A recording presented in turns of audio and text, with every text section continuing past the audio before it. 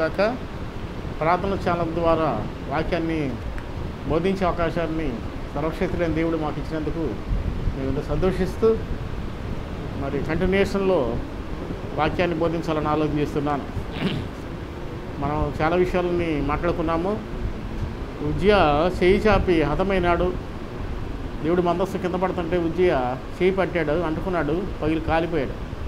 దేవుడి దగ్గరే మందస్సు దగ్గరే చనిపోయినట్టుగా మనకు కనబడుతూ ఉంది.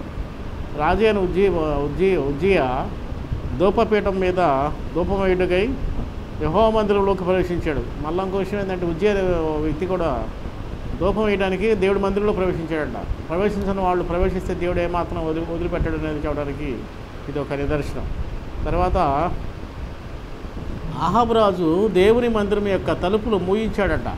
అహాబ్రాజు దేవుడి మందిరంలోనికి తలుపులు మూయించేసాడట అంటే దేవుడి మందిరం తలుపులు తీసుకుంచాలి కానీ ఈయన ఏం చేశాడంటే అహాబ్ రాజు మందిరం యొక్క తలుపులు మూయించాడంట. అందువలన దేవుడు ఉగ్రత అతని మీదకి వెళ్ళినట్లు కనబడుతుంది. ఆ వాక్యాన్ని మీ అందరికీ నేను తెలియజేయాలని ఆలోచన చేస్తున్నాను. దినవృత్తాంతము రెండవ గ్రంథంలో దినవృత్తాంతాలు రెండవ గ్రంథము ఇరవై ఎనిమిదో అధ్య- అధ్యాయము ఇరవై నాలుగు వచ్చిన ఒక వాటిని చదవాలని ఆలోచన చేస్తున్నాను. ఆహాజు అహాజు దేవుని మందిరపు ఉపకరణములను సమకూర్చి వాటిని పగలగొట్టించి యెహోవా యొక్క మందిరం యొక్క తలుపులను తీసివేయించి మూసివేయించి మూసివేయించి యెరూషలేము నందంతటా బలిపి పట్టించాడండి. అంటే నిజంగా దేవుడి మందిరాలు మూసేయించి ఆడ మందిరాలు కట్టించాడండి ఆహాబు మరి ఇంకా ఉపకరణం దేవుని దగ్గర ఉపకరణాలన్నింటినీ కూడా పగలగొట్టేశాడు. చూడండి దేవుడి మరి వ్యతిరేకంగా మారిపోయాడు. దేవుడి పనిని ఎవరికి చేయకుండా చేశాడు? దేవుడు అనే విషయాన్ని అర్థం చేసుకోలేక దేవుడి యొక్క గొప్పతనాన్ని అర్థం చేసుకోలేక దేవుడి మందిరాన్ని మరి ఆయన తలుపులు మూసేసినట్లు పడతా ఉంది. ఎందుకంటే మనం కూడా మన జీవితాల్లో దేవుడి మందిరం అన్న తలుపులు ఎప్పుడు మూయకూడదండి. అంటే ఆ దేవుడిని పూజించడము దేవుని ఆరాధించడం ఎప్పుడు ఆపకూడదు అనే దాన్ని ఇక్కడ అర్థం అనమాట కనుక ఆ విధంగా చేయటం వలన ఈ అహాబు రాజు దేవుని మందిరాల తలుపులు మూయించడం వలన దేవుడి ఉగ్రత అతని మీదకి వెళ్ళిపోయింది. అట్లాగే ఎవరైనా సరే దేవుడి మాట వినకపోయినా దేవుడు చెప్పింది చేయకపోయినా దేవుడు అనుకుంద జరిగించిపోయినా దేవుడికి వ్యతిరేకంగా ఆటంకాలు ఏవి కల్పించినా వారు ఇబ్బంది పడతారని అనడానికి ఇది ఒక గొప్ప నిదర్శనం అండి. తర్వాత కూడా వచ్చిన చదవండి. యోధా దేశంలోని అతడు అన్యుల దేవతలకు చూసారా అతను ఏం చేసి అన్ని దేవతలకు ఇతడు ఈదో రాజు ఈదో రాజు ఇతను. యూదుడు మనిషి. మరి అహాబు రాజు మరి యూదుడు రాజే. కానీ ఏం జరిగిందంటే ఇతను ఈ దేవుడి మందిరాన్ని మూతేసేసి ఉపకరణాలను పగలగొట్టేసి అన్య దేవతలకు దూపం వేసాడు వేస్తున్నాడండి అన్య దేవతలకు అంటే దేవుడు ఇష్టపడని వారందరి మీద ఆయన బలిపీఠాలు కట్టించి వారికి దూపాలు వేస్తున్నాడు. ఇప్పుడు కూడా చాలామంది అట్టే చేస్తూ ఉంటారు. దేవుడి సంఘాన్ని పాడు చేస్తారు. దేవుడి రాజ్యాన్ని పాడు చేస్తారు. దేవుడి సంకల్పాన్ని పాడు చేస్తారు. అందువల్ల దేవుడి ఉగ్రత వాళ్ళ మీదకి వస్తుందండి. చదవండి. తన పితరుల దేవుడైనా అంటే తన పితరుల దేవుడైన. పితరులు ఎవరంటే యూదులు. ఇస్రాయల్ జనాంగం. వీళ్ళందరికీ ఆ ఇతను దాంట్లోంచి వచ్చిన వాడే. కానీ ఏం చేశాడంటే తన పితరుల దేవుడికి కోపాన్ని తెప్పించాడండి. దేవుడికి కోపం తెప్పిస్తే ఏ మనిషి భూమి మీద నిలవలేడని అనడానికి ఇది ఒక ఆదర్శనం అండి అందుకే దేవుడు ఏం చేస్తున్నాడు? ఆలోచన వచ్చిందంటే ఇతన్ని ఇతన్ని పాడు చేశాడు ఆహాబుని అహాబరాజుని దేవుడు పాడు చేయడానికి అవకాశం కారణం ఏంటంటే ఇతడు అన్ని దేవతలు పూజిస్తూ అన్ని దేవతలు గుళ్ళు గుళ్ళు కడుతూ అన్ని దేవతలకు ధూపద్రవ్యాలను వేస్తున్నాడు. దేవుడు సహించలేదండి ఇది. దేవుడు ఇష్టపడంది. దేవుడు ఇష్టపడని దాన్ని చేస్తే ఎవడప్పుకోడండి? ఒక ఆయన అన్ని అగ్ని తీసుకొచ్చి ఆ ధూపం వేశాడు. దేవుడు దాన్ని ఇష్టపడాలి అతను అక్కడే కాల్చి అవతల పడేసాడు. కనుక ఇట్లా మరి రాజు అని ఉజ్జయ దూపం మీద ధూపం వేయటకై ఉజ్జయ దూప పీఠం మీద ధూపం వేయటకై యహో మందిరానికి మందిరంలో ప్రవేశించాడు. ఇతడే ఇతనికి వెళ్ళేటట్టండి. ఇతను చేయాల్సిన పని ఏంటంటే వేరే పని. కానీ వేరే వాళ్ళు చేయాల్సిన పని ఇతను చేయడానికి వెళ్తే దెబ్బగాడాక ముక్కల పని రాడిపోయాడు దేవుని ప్రాకారము దేవుని ద్రాక్షారసం త్రాగిన రాజుకు బెలశేషర్ గురించి చెప్పాలని ఆలోచిస్తున్నాను సమయంలో. ఇతడు దేవుని పాత్రలో ద్రాక్షారసం తాగుతున్నాడండి వైన్ తాగుతున్నాడు ఇతను. దేవుని ద్రాక్షారసాన్ని త్రాగుతున్నాడంట. ఎవరి పాత్రలు అంటే దేవుడి పాత్రల్లో. అంటే దేవుడి పాత్రని దైవ సంబంధంకు ఉపయోగించాలి కానీ ఇతను తను త్రాగడానికి ఉపయోగించుకున్నాడు. ఈ విషయాన్ని దేవుడు ఏమాత్రం కూడా ఇష్టపడలేదండి ఇతని గురించి. దానియాల గ్రంథంలో ఉంది ఈ మాట. ఈ వాక్యాన్ని కూడా మనం చదువుకుందాం సమయంలో. దానియాలు గ్రంథము ఐదో అధ్యాయము రెండో వచ్చిన నుండి చదువుదామండి. త్రాగుతుండగా ద్రాక్షారసము త్రాగుచుండగా తన తాను అధిపతులను తన రాణులను తన రాణులను ఉపపత్నులను అంటే ఈ దేవుడి పాత్రల్లో ద్రాక్షారసం పోసుకొని వీళ్ళందరూ తాగుతున్నారండి. చాలండి. ఇతను ఏం చేస్తున్నాడంటే బెలషసర్ అనే రాజు దేవుడి పాత్రల్లో తను తన ఉప్పుడు గత్తెలు తన ప- ఉపరాణులు ఇంకా పక్కనే ఉన్న అందరూ కలిసి ఏం చేస్తున్నారంటే ఈ పాత్రల్లో దాక్షారసం పోసుకుని త్రాగుతున్నారు ఇదేమి న్యాయము? అసలు ఏం పనిది దేవుడు ఇష్టపడడం దాన్ని చేస్తున్నారండి. ఇప్పుడు కూడా మనం కూడా ఒకసారి దేవుడు ఇష్టపడడం దాన్ని చేస్తూ ఉంటాం. అయినా తప్పని పరిస్థితి అయింది కనుక అయితే దేవుడు క్షమాపణ ఉండదు దానికి. ఎందుకంటే దేవుడికి వ్యతిరేకంగా ఏ పని చేసినా దేవుడు క్షమించడండి. మనకు మనగా కోపాన్ని ఈ కోపం ఈర్ష పగ ద్వేషాలు ఉన్న దేవుడు క్షమిస్తాడు. మనకు మనకు అన్యాయం చేసుకుంటే దేవుడు క్షమిస్తాడు. మనకు మనకు లోపాలు కలిగి ఉంటే దేవుడు క్షమిస్తాడు కానీ తన పరిశుద్ధాత్మలు కానీ దేవుడి యొక్క సంబంధించిన వాటి మీద కానీ ఏ మనిషి అయినా వ్యతిరేకంగా ఉన్నట్లయితే దేవుడు ఎంత మాత్రం క్షమించడండి. క్షమించడానికి మనం అర్థం చేసుకోవాలి. దేవుని పాత్రలో ద్రాక్షారాసము త్రాగుతూ తన ఉపపత్తుల చేత తాగిస్తూ తన పక్కన ఉన్న రాజులతో తాగిస్తూ ఇతడు సంతోషాన్ని కలిగి ఉన్నట్లుగా మనం చూస్తున్నాం. చదవడి తర్వాత వచ్చిన కూడా. తన తండ్రి యగు నెబుకద్నెజరు ఎబుకత్నేజరు యెరూషలేములోని తెచ్చిన ఆలయములో నుండి తెచ్చిన వే ఆ పాత్రలో అందుకు వారు ఎరుషులేములోని ఎరుసలేములోని దేవుని నివాసముకు నివాసమగు ఆలయంలో నుండి ఆలయములో బంగారపు పరిముట్లను తీసుకొచ్చి ఉంచగా ఇక్కడికి తీసుకొచ్చినారంట. రాజును అతని అధిపతులను అతని రాణులను ఉపపత్నులను దాసరసం పోత ద్రాక్షారసం పోసి త్రాగుతున్నారండి పోసుకుని త్రాగుతున్నారు చూడండి ఎంత గొప్ప సంతోషకరమైన విషయం ఇది. దేవుడి మందిరములో కొలగొట్టుకొచ్చారు. దేవుడి మందిరములో కొలగొట్టుకొచ్చి దేవుడి మందిరంలో దేవుడు సంబంధించిన వ్యక్తి తాగాల్సిన వాటిని దేవుడికి ఇవ్వాల్సిన వాటిని వీళ్ళు ఏం చేశారంటే తనే తాడుతున్నాడు దాంట్లో తీసుకొచ్చుకుని. దేవుడి పాత్ర దేవుడు తాగాల్సిన పాత్రలో మనిషి తాగితే దేవుడు ఎంత మాత్రం ఇష్టపడ్డాడు ఇది ఒక నిదర్శనం అండి. తర్వాత చదవండి ఇంకేం చెప్పాడు?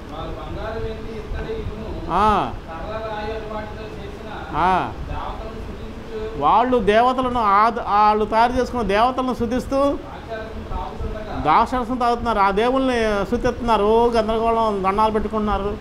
దానికి పాటలు పాడుతున్నారు. వాటిని పాడు పాడుతూ ఆ దేవతల్ని పూజిస్తూ ఈ పాత్రలోనే త్రాగుతున్నారు. సరే ఈ పాత్రలో తాగాడు అనుకున్న సంతోషం కొంతవరకు బెటరే. కానీ ఆ దేవతలను శుతిస్తూ ఆ దేవతలకు ధూప ద్రవ్యాలను వేస్తూ దేవుడి యొక్క పాత్రలో వీళ్ళు త్రాగుతున్నారు. ఒక మనిషి దేవుడి పాత్రలో త్రాగేంత శక్తి అతనికి లేదండి. కానీ దేవుడు ఏదో సూచిస్తూ ఉన్నట్టుగా ఉండి కొద్దిగా వదిలాడు.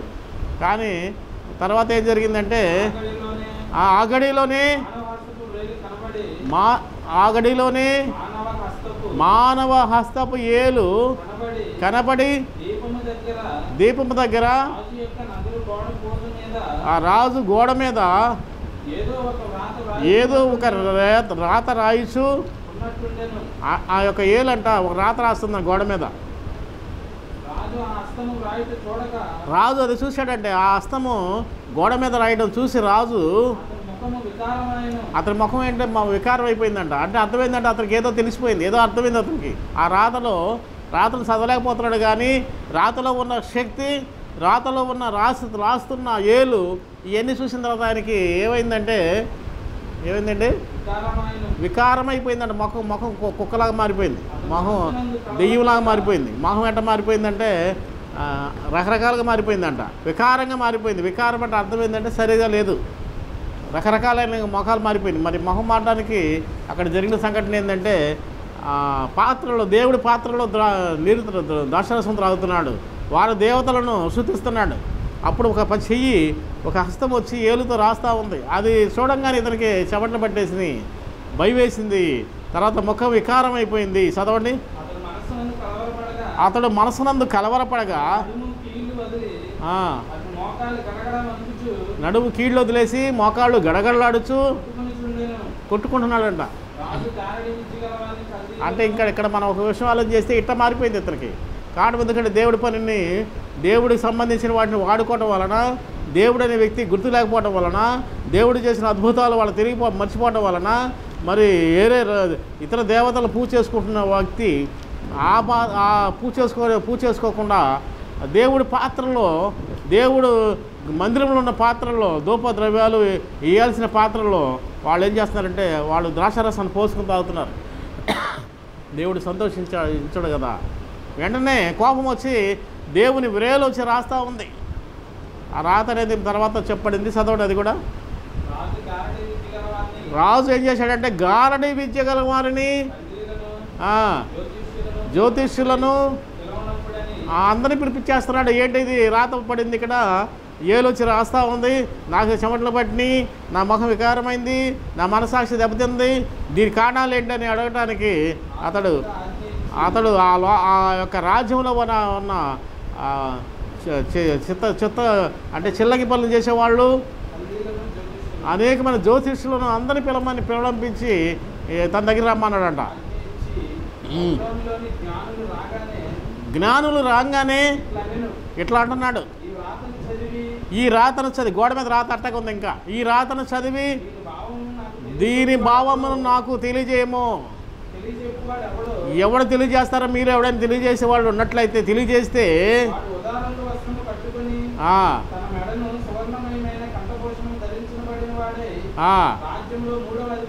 రాజ్యంలో మూడవ అధిపతిగా అతను ఏలు ఏలుస్తారు అతనికి అంత సహాయం చేస్తారు. కానీ అది రాసిన దాన్ని మరి ఆ రాస్తా ఉంటేనే రాత రాస్తా ఉంది. రాత చూసి నాకు చెమటలు పట్టిని నడుము ఎరిగింది మోకాళ్ళు లూజ్ అయిపోయింది. నా బాడీలో ఉన్న భాగాలన్నీ కూడా గడగడ వణిగిపోయినాయి అని అంటున్నాడు. అని ఆ రాత ఏంటని అడుగుతుంటే రాత ఏంటి చదవండి నాకు వినిపించండి అంటున్నాడు. అంటే ఎవరు చదువుతారు దాన్ని? దేవుడు రాసిన దాన్ని? దేవుడు రాసిన దాన్ని మనిషి చదవగలడా అంటే ఈ చిల్లంగి వాళ్ళు చదువుతారా? ఈ యొక్క ఆ, దెయ్యాల భూతాల మీద ఆధారపడేవాడు చదువుతాడా? ఈ యొక్క దీని మాంత్రికులు చదువుతారా? అంటే చదవలేరు వాళ్ళు. ఆ చదవండి. వచ్చిన కూడా తర్వాత. రాజు నియమించిన జ్ఞానులందరూ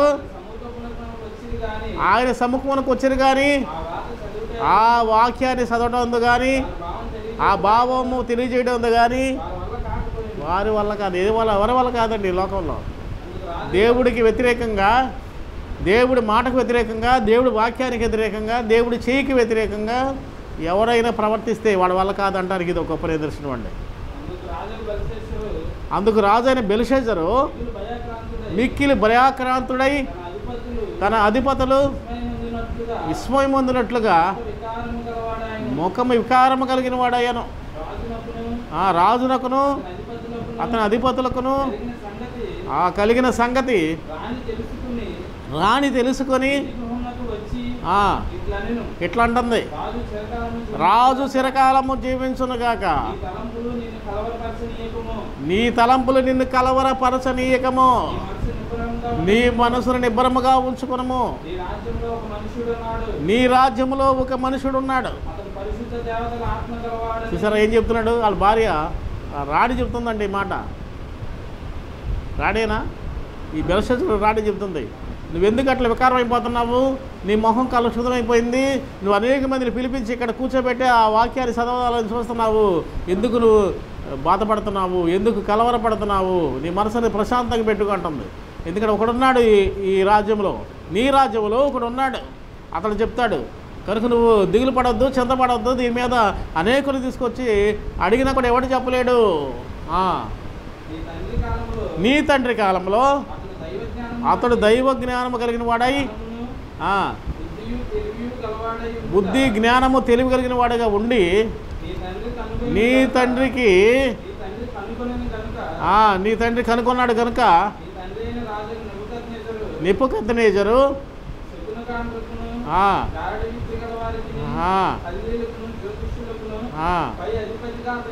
చూసారా ఎంత నిర్మించాడు ఆయన్ని? కనుక నీ ఎందుకంటే ఇప్పుడు నువ్వుగా నువ్వు కూడా వీళ్ళందరూ ఏం చేయలేరండి.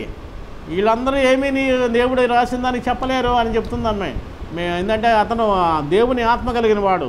అతడు నీ తండ్రి అతను ఉపయోగించుకున్నాడు. ఒక అధిపతిగా అతను నియమించాడు. కనుక నువ్వు కూడా దాన్ని గ్రాహ తెలుసుకోలేకపోతే ఇంకా నువ్వు అజ్ఞానిగా ఉంటే నువ్వేమవుతావు అంటే నువ్వు ఎందుకు పైన పోతావు అని చెప్తుంది అనమాట ఆ భార్య చెప్తుంది రాణి చెప్తుంది. ఒక మాట చదవండి. ఈ దాని ఎటువంటి వాడంటే శ్రేష్టమైన బుద్ధి కలిగిన వాడై కళ్ళకు తెలిసిడు ఎందు మర్మము బయలుపరచుటకును ప్రశ్నలకు ఉత్తరం ఇచ్చుట ఎందు జ్ఞానమును తెలివి కలిగిన వాడై ఉన్నాడు. ఉన్నాడు కనుక ఆ రాజు అతనికి మంచి పేరు పెట్టాడండి బెల్తేశ్వర పెట్టాడంట. దానియేలుకి ఇంకొక పేరు ఏంటంటే బెల్తేశ్వరం అంటే దేవుని ఎందు ఆత్మ కలిగిన వాడు దేవుని ఆత్మలు జ్ఞానం కలిగిన వాడు. మంచి వ్యక్తిత్వం కలిగిన వాడు దేవుడి మీద ఆధారపడిన వాడు కనుక అత అతన్ని మీ తండ్రి అతన్ని ఒక అధికారిగా నియమించి ఉంచాడయ్యా. ఈ దానియేలును పిలువనంపుము. అతడు దీని భావమును తెలియజేయను అంటే ఇప్పుడు ఆమె ఎప్పుడైతే ఏ మాట అయితే చెప్పిందో నిజంగా రాజు దగ్గరికి రారు రాడేలు రాజు దగ్గరికి వచ్చే చెప్పేంత శక్తి ధైర్యం వాళ్ళకి లేదు. కానీ ఇప్పుడు చెప్పాల్సిన పరిస్థితి వచ్చింది. చూడండి తేడా వస్తే ఎవరేం చెబుతారంట? కుక్క కుక్క పిల్ల కూడా మాట్లాడుద్ది. గాడిది కూడా మాట్లాడుద్ది. ఎందుకంటే స- సరిగా నిలవకపోతే సరిగా ఉండకపోతే ఆఖరికి ఏదైనా ఏ జంతువు అని మాట్లాడుద్దండి సహజంగా. ఎందుకంటే మనిషి మా దేవుడి మాట వినప్పుడు దేవుడు ఏం చేస్తాడు? దేనితోనే మాట్లాడిస్తాడు ఆయన. దేనితోనే మాట్లాడిస్తాడు అంటానికి ఇది గొప్ప నిదర్శనము. మరి భార్య దగ్గర భర్త దగ్గరికి వచ్చి మాట్లాడేంత శక్తి లేదు ఆమెకి. కానీ రాజు దగ్గరికి వచ్చి రాణి మాట్లాడి వచ్చి నించ నిలబడకూడదు. నిలబడకూడదు. కానీ ఆమె ఎందుకు నిలబడిందంటే ఇతను బలహీనుడు అయిపోయాడు కనుక ఇతడిలో శక్తి లేదు కనుక ఇతనిలో ఏమీ లేదు కనుక ఆమె వచ్చి మాట్లాడాల్సిన పరిస్థితి వచ్చింది. లేకపోతే క్షణంలో ఏం చేసేవాడు అంటే అదే అతని కాళ్ళు వంకపోతే నడుము ఇరగపోతే ఏం చేసేవాడు? అప్పుడే ఈమె నా భార్య అయితే అయింది రాణి అయితే అయింది. నా ఎదురుగా వచ్చి ఈ యొక్క సంస్థానంలోకి వచ్చి మాట్లాడేంత ధైర్యం ఆమెకి ఎక్కడి నుంచి వచ్చింది? ఎవరు చేయరు అట్లా. కనుక ఈమె తల కొట్టేసేయండి అని చెప్పేవాడు. తల తీసేయలేమిని నా భార్య అయినా సరే రాణి అయినా సరే తల తీయాల్సిందని చెప్పేవాడే. కానీ ఇప్పుడు అతనికి శరీరం అంతా కూడా సక్కరించట్లా వికారం అయిపోయింది ముఖం అంతా. ఇంకా చూసినట్లయితే నడు విరిగిపోయింది. నడుము పనిచేయట్లా. కాళ్ళు కాళ్ళు దగ్గర మోకాళ్ళ దగ్గర చెప్పుల కూరిపోయినాయి కూలిపోయినాయి. మరి నా నా పరిస్థితి అట్ట ఉంది. కానీ ఈ టైంలో ఎవరి మాట నేను అనాల్సిందే? ఎవరు చెప్పినా అనాల్సిందే. ఇప్పుడు ఆమె ఏం చెప్పిందంటే ఒకడు ఉన్నాడు మీ మీ యొక్క రాజ్యంలో. దానియేలు అనే ఒక గొప్ప వ్యక్తి ఉన్నాడు. అతను మొహం కూడా చూడలేదు ఇతను దానియేలేమో వాళ్ళ నాన్న వాళ్ళ తండ్రి గారు మంచి పొజిషన్లో పెట్టి అధికారం హోదా ఇస్తే ఇతలేసి మొత్తం కట్ చేసి పడేసి మొత్తం కట్ చేసి దగ్గరికి కూడా అనేవట్లా వాళ్ళ దేవతను పూజ చేసుకుంటున్నాడు ధూపద్రవ్యాలు వేసుకుంటున్నాడు. దేవుడి మందిరంలో ఉన్న వస్తువులన్నీ వాడు ఉపయోగిస్తున్నాడు. కానీ అది ఎంత మాత్రం కూడా దేవుడు ఇష్టపడక ఈ తన విరేలుతో తన చెయ్యితో తన విరేలుతో రాసి పెట్టాడు అక్కడ. దీన్ని ఎవడు చదువుతాడు అనేది చూస్తే ఈ రాజు వల్ల కాల చదవండి కింద వచ్చి ఇంకో వచ్చిన కూడా. అతడు రాక అతడు అతడు రాగానే దానియలు రాగానే రాజు ఇట్లా అంటున్నాడు. రాజుకు నా తండ్రి ఆ నుండి నిన్ను తీసుకుని వచ్చి దాని వేలివి నువ్వే కదా అని అడుగుతున్నాడు. దేవతల ఆత్మయు వివేకమును బుద్ధియు విశేష జ్ఞానమును నీ అందు ఉన్నవని నీకు నిన్ను గురించి నేను విన్నాను. ఇదిగో నేను నీ గురించి విన్నాను. మా తండ్రి నేను వాడుకున్నాడు. కానీ నేను నిన్ను వదిలేశాను. నేను దగ్గర రానివ్వలేదు. నువ్వు ఇంకా నిన్ను చెరసాల పెట్టాను నేను నిన్ను. కనుక నేను ఇప్పుడు నేనేం చేస్తానంటే నాకు ఒక చెయ్యి వచ్చి ఏలుతో ఒక గోడ మీద రాసింది ఒక వా- వాక్యము. దాన్ని నువ్వు నాకు వివరించాలి. దాన్ని నువ్వు నాకు వివరించాలని చెప్తున్నాడు. తర్వాత ఏమంటున్నాడు? ఈ రాత చదివి దాని భావము నాకు నువ్వు తెలియజేసినట్లయితే జ్ఞానులను జ్ఞానులను విద్య గల వారిని గారడి విద్యగల వారిని తెప్పించాను కానీ వారు ఈ సంగతి యొక్క భావమును తెలుపులేకపోయి తెలుపులేకపోయారు వాళ్ళు ఎవరి వాళ్ళ కాల? ఇక ఈ- మా రాజ్యంలో ఎవడి వల్ల కాలేదు? కనుక నీ గురించి విన్నాను. నిన్ను నేను పిలిపించాను అని ఇప్పుడు ఎవరి మీద ఆధారపడుతున్నాడంటే దేవుడు ప్రజల మీద ఆధారపడుతున్నాడు. దేవుడి మనిషి మీద ఆధారపడుతున్నాడు. అంటే ఆధారపడటం అనేది సహజంగా ఎవరైనా ఆధారపడతాం. చిన్నపిల్లల పెద్దోళ్ళ మీద పెద్దవాళ్ళు ఇంకోళ్ళ మీద లేని వాళ్ళు ఉన్నవాళ్ళ మీద మరి జ్ఞానం ఉన్న వాళ్ళు జ్ఞానం లేని లేని వాళ్ళు జ్ఞానం ఉన్న వాళ్ళ మీద ఆధారపడటం అనేది సహజమండి. ఇతడు తన రాజ్యంలో ఉన్న గాఢ వాళ్ళ మీద ఆధారపడ్డాడు. ఇదేదో నాకు ఇబ్బందికరంగా ఉంది. ఈ రాత నన్ను ఇబ్బంది పెట్టేస్తుంది. రాత నన్ను కలవర పెడుతుంది. ఈ గోడ మీద ఉన్న ఆ మాట నన్ను తెగ ఇబ్బందులు పాలు చేస్తుందని గ్రహించిన రాజు అప్పుడు దానిగారి పిలిపించి నా వల్ల కాలేదు. మా ఊర్లో ఉన్న వాళ్ళు మా దేశంలో ఉన్న వాళ్ళ వల్ల ఎవరి వల్ల కాలేదయ్యా? ఒక్కసారి చదువు అని చెప్పి అడుగుతున్నాడు.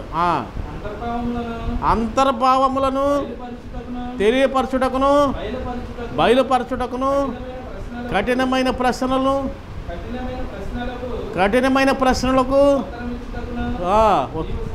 నీవు సమర్థుడు అని ఎవరు చెప్పారు ఈయనకి ఈయనకి ఈ రాజుకి? ఎవరు చెప్పారు? ఇటువంటి చేయగల శక్తి కలిగిన వాడని ఎవరు చెప్పారు ఈయనకి? ఈయనకి? రాణి చెప్పింది. మరి ఎవడు చెప్పా ఎవడో చెప్పలా? ఎవడు చెప్పినా ఎవడ మాట వినడం అది కూడా బాగుంటే ఎవడ మాట వినరు అంత బాగుంటే ఎవడో ఎవడ మాట వినరు కానీ ఇక్కడ బాగోలేదు నడు విరిగిపోయింది కాళ్ళు వంగిపోయినాయి ముఖం వికారం అయిపోయింది దెయ్యాల రూపంలోకి వచ్చేసింది. కనుక ఇప్పుడు ఎవరి మాట నేను వింటాడు ఇప్పుడు. ఇప్పుడు ఎవరి మాట నేను వినాల్సిందే భార్య మాట అయినా పక్కన పుక్కల కుక్కల మాట అయినా నక్కల మాట అయినా గాడిదల మాట నేను ఒక ఆయన ఎవరో గాడిదని గాడిద మీద ఎక్కి కూర్చుని వస్తున్నాడంట. అన్ని వాక్యాన్ని చెప్పడానికి. ఇంకేంటంటే దేవుడు చెప్పాల్సిన సమయాన్ని చెప్పకోకుండా ఏదో ఇంకోటి చెప్పడానికి వెళ్తున్నాడంట. గాడిదంట అతను ఎక్కించుకుని వస్తుంది. వస్తుంటే ఇంకా దేవుడు దూత వచ్చి నరకటానికి రైల్లో కూర్చుంది. వీడికేం కనపడుద్ది? మనిషికి కనపడదు కదా. దేవుడు దూత దేవుళ్ళు కనపడరు. ఈ కళ్ళకు దేవుడు కనపడదు దేయం కనపడదు.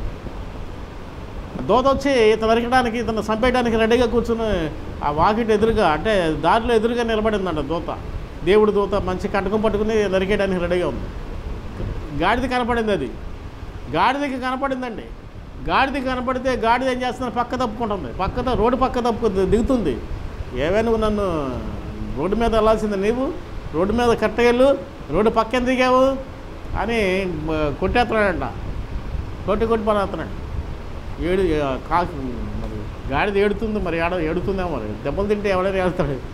దెబ్బతో కొడితే మనిషి అయితే నోటితో శబ్దాలు చేసి ఏడుతాడు మరి జంతువులు ఏమి ఏడుతాయి ఆ- ఆ భాషలో అవి ఏడుతాయి.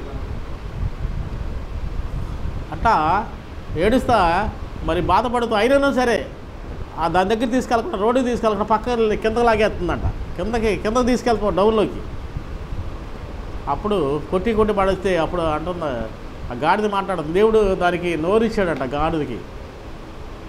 నేను ఇట్లా కింద దిగపోతే ఈ పాటికి నీ మెడక దిగ కింద పడేది? దేవుని దూత వచ్చి కత్తి కట్టుకుని పట్టుకుని నిన్ను చంపడానికి రెడీగా ఉంది అని దేవుని దూత దేవుడిచ్చిన ఆజ్ఞను బట్టి ఆమె గాడిద మాట్లాడిందంట. గాడిద మాట అందుకనే నేను చెప్పదలుచుకోవాలి ఆ విషయాన్ని? మంచి ఎక్కువైపోతుంది అందువలన గాడిద మాట్లాడి ఆ బిలాముకి వార్నింగ్ ఇచ్చింది. ఇస్తే ఎన్ని లక్ష లేదు అతను. సత్యదాకా ఎవడో చేస్తాడండి. దేవుడి మాటని ఎవడంటాడు దూత అయినను దూత ఏం చేసిందంటే ముద్దు పెట్టుకుంది. ఆనందపడిందా? దూత మెడకాయ కోసి పడేసిందండి. అంటే అర్థమైందంటే నిజం నా తెలిసి నా తెలిసినంత వరకు దేవుడి మాట అయినపోయింది చచ్చినట్టు లెక్కే. దేవుడికి దూరంగా నడిస్తే చచ్చినట్టు లెక్కే. ఇక బతికిన బతికిన బతికినట్టు కాదు అతను.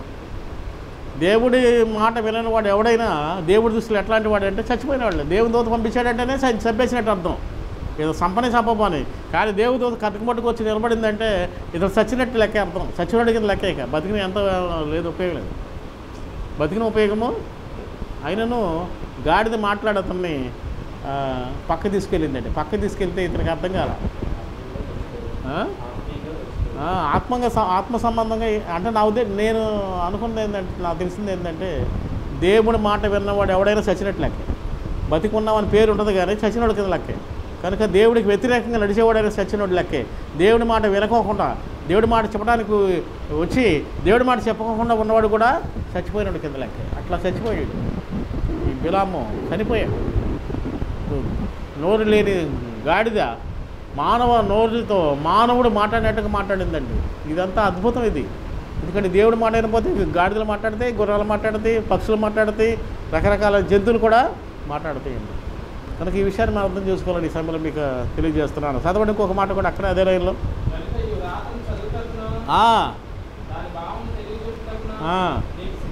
నీకు నీకు నీకు అది చేయగలిగిన వాడిపోయినట్లయితే నీవు ఉదాహరణ ఉదారంగ వస్త్రం ధరించుకొని నీవు రాజ్యములో మూడవ అధిపతిగా ఏలుదువు. అని దానియలతో అందుకు దానియలు అంటున్నాడు.